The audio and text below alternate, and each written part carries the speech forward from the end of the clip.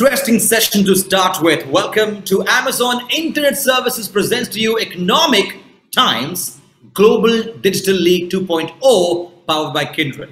So what's next? I'm sure you are waiting to know what's more this afternoon. So yes, let's get ready to GCCs in India serving the world with AWS. Please welcome our speaker for the same, uh, Head Global Enterprises India AISPL, the one and only Chandra Balani with us right now. Hi, my name is Chandra Balani. I'm with uh, Amazon Internet Services Private Limited, um, AWS, managing the global enterprise business. Um, I, I, have about 23 years of experience in the IT industry. And uh, with AWS, um, I'll be completing eight years this month. Um, in my initial role, I was doing the geo expansion for AWS in India, um, uh, based in Hyderabad. So expanded business in Hyderabad, uh, Kolkata, Pune, uh, Gujarat, um, countries, Bangladesh, and Nepal as well. And from the last year and a half, uh, I run the global enterprise business uh, in India. So today's topic, um, uh, GCCs in India serving the world with AWS. Um, and before I get to that, um, I just wanted to share a high-level Amazon mission. Uh, at Amazon, um, we strive to be Earth's most customer-centric company. Um, uh, you know, we work backwards from our customer needs and uh, innovate on on their behalf. Uh, our um, our goal is to uh, delight our customers um, um, you know, we believe that uh, customers are always beautifully and wonderfully dissatisfied.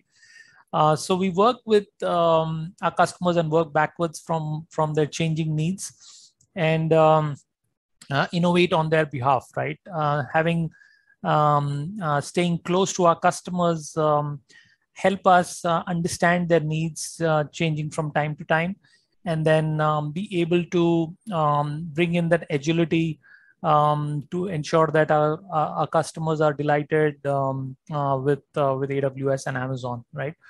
And uh, if I may give an example, um, you know, of um, uh, of uh, of Lambda, which is a serverless service, uh, no customer actually asked us um, for Lambda as a service or serverless as a service. We have EC2, which is our compute service, and um, you know, our customers called out that they need a a scalable EC2. They need uh, something which is uh, faster, something which is cheaper. And reading between the lines, we we came out with serverless um, with Lambda, which is a serverless compute service, right? Which checks marks on all of them. On the same lines, um, um, you know, my personal story as I was um, uh, working on the geo expansion territory uh, for the first six years that um, you know I was with AWS. I am with AWS um, uh, I was covering the territories of Hyderabad and Pune, especially, and um, uh, these territories have a lot of global customers, right? And as I was engaging with them, um, uh, you know, our AWS business model was that uh, these customers were uh, being supported by our um, global, um, you know, counterparts uh, sitting in the headquarters. but as I as I engaged with them, I learned that the these customers are setting up large technology teams in India. They're driving uh, innovations from India. They are um, they're working on cloud. Cloud as a benefit of you know you can work from anywhere. Uh, uh, folks were uh, experimenting, um, you know, how they can bring in innovation in their business. And during these interactions, right, a lot of customers, um, um, you know, ask for support um, uh, uh, for them in India, right? Um, so I called that out uh, in our leadership team that uh, this is something we should address uh, as a gap in our um, uh, way we manage uh, our customers. And um, in a typical Amazonian way, I, I wrote a narrative. That's what we do at Amazon for, for doing uh, anything new, at least. Um, so I wrote a narrative on the fact that we should create a, a team which is dedicated on um, on global enterprise customers in India, right? Uh, so this will be um, a team which will work closely with our global counterparts, but um, with an objective to delight our global customers in India, right? Help them uh, drive innovation, um, help their technology team uh, be successful, um, you know, from India, right? Uh, so that's what we did. And um, once the narrative got approved, uh, we created this team um, from uh, January 2020. Uh, so last um, couple of years, uh, you know, we've been we've been um, working very closely with our global customers and um, ensuring that they're getting all the support from AWS in India in their time zone um, and driving innovations, um, technology-driven innovations, uh, and being successful in their in their uh, global organizations, right? And if I have to give you some um, reference customers, um, um, you know, if you look at uh, BMW, if you look at uh, GE Healthcare, they are building their uh, data lake on AWS to unlock the power of data, right? Novartis um, is transforming their entire um, supply chain and manufacturing and, and core operations on, on AWS. Uh, if you look at uh, Goldman Sachs, uh, Goldman Sachs is, um, is using AWS to enhance how they help their clients achieve financial their financial goals. They're running their transaction banking platform on, on AWS. Adobe is running their um, uh, software applications on, on AWS. Um, you know, uh, deploying and uh, and running on AWS instead of um, focusing on uh, on infrastructure, which is not their differentiator. Uh, you look at uh, Carrier. Carrier is uh, transforming how food and pharmaceuticals are shipped, preserved, and uh, protected. Carrier is also fueling their product development on AWS. They're reducing um, time for development. They're reducing their infrastructure cost by almost 45, 50 percent um, Volkswagen is building their entire industrial cloud on AWS. Um, uh, so different use cases um, uh, on AWS. And apart from uh, AWS, one more thing that is common in all of these is that um, all of these customers have a huge um, India team uh, driving uh, technology-led innovations, and um, and we are supporting them um, in India along with their um, with their headquarter team, right? Uh, and uh, let's learn how a little good, you know, deeper, uh, how exactly are we helping them? Uh, so we've created um, these programs um, in four buckets, um, enablement, um, and ensuring that the team, um, you know, learn all those skills, uh, migration and modernization so that uh, they can bring in agility in their business, uh, innovation uh, to drive their business um, uh, with the changing market needs and, and, and help their customers. And then some of the best practices that we um, we have at AWS to ensure that um, they are uh, using all our services right, right?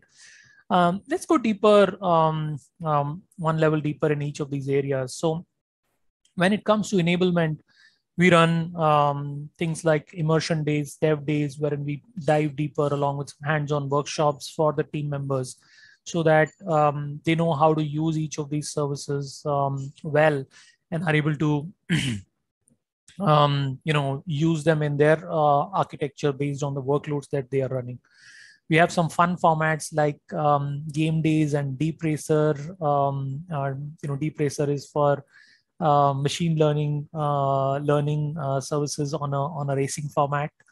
Um, we have our training and certification team who can do learning needs analysis and based on that create a program um, for for enabling and, and skilling your team. we also have programs like Cloud Fluency and Skills Guild, where we ensure that um, the entire organization, right from uh, the CEO to the to the developer at, at multiple levels all have a cloud fluency and understand um, uh, the level of cloud that they need to know as per their roles, right? Um, when it comes to migration and modernization, I think the core piece here is um, once you move to cloud, uh, it brings in that agility in your business. The speed with which you can react to changing market changing market conditions or changing customer needs the cycles that you can go uh, while you're on cloud is much faster. Uh, to do that um, we help and and we have our teams from you know programs around migration acceleration um, we call it MAP migration acceleration program and it's available for multiple workloads like SAP, or uh, you have MAP for Windows, VMware, for storage, for contact centers, for analytics, even mainframes, and and we have program for database freedom, uh, freedom from commercial databases, and even to an extent of a complete data center exit, right? Uh, and under this program, um, we help you do the uh, readiness assessment. We help you doing a TCO calculation. Uh, we help you prepare the business case and then um, help you in actual execution of the migration itself. Um, we can bring in our partner ecosystem who can help you do that. Uh, we have our own professional services team in India who can execute uh, some of these projects for you.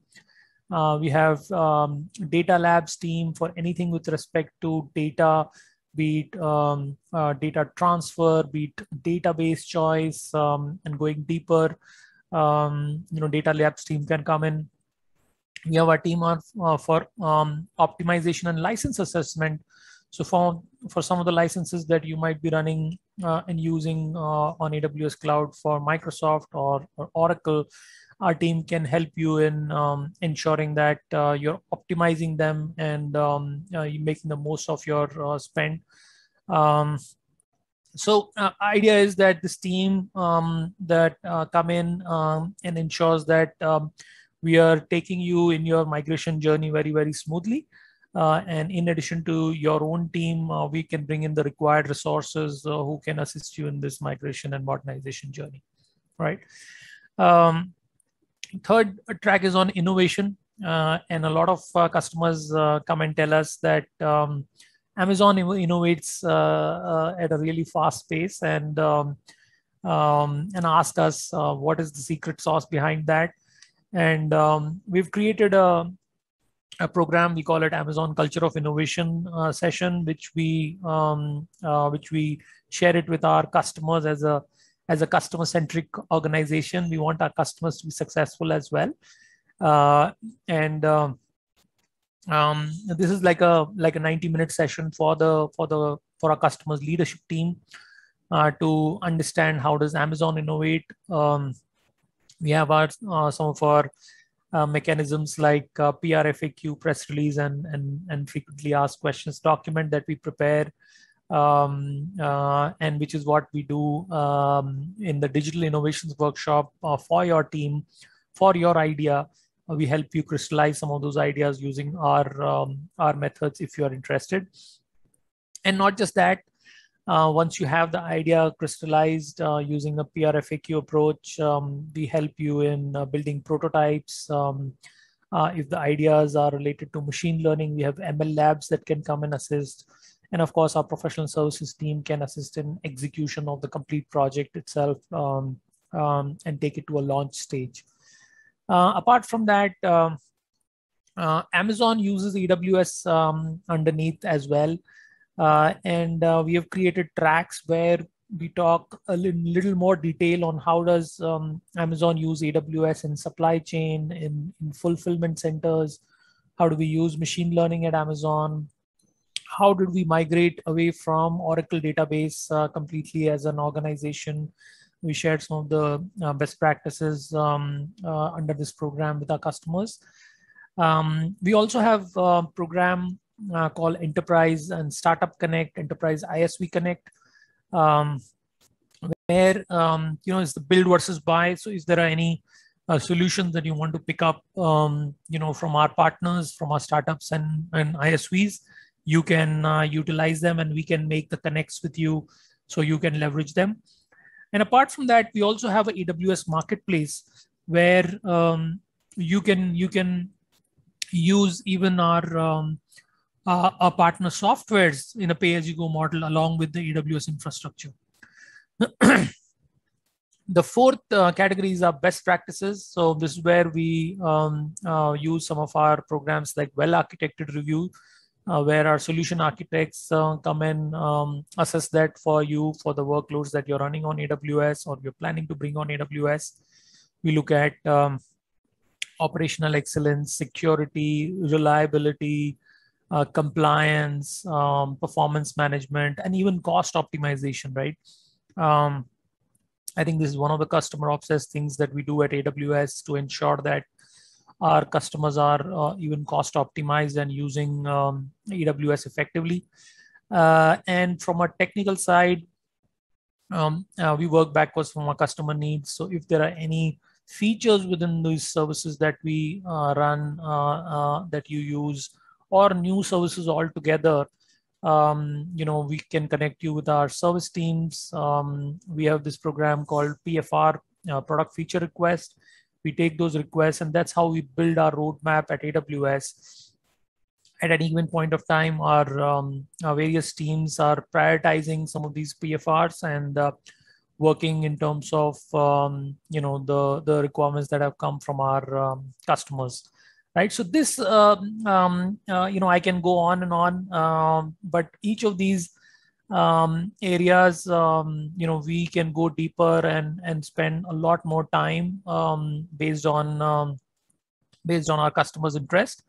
But um, this is uh, this is how we uh, ensure that uh, our customers are um, making the most of aws and and and we ensure that we are helping them uh, in being successful uh, from india right with that, I come to a close. Um, you know, I can be reached at uh, Balani C at Amazon.com.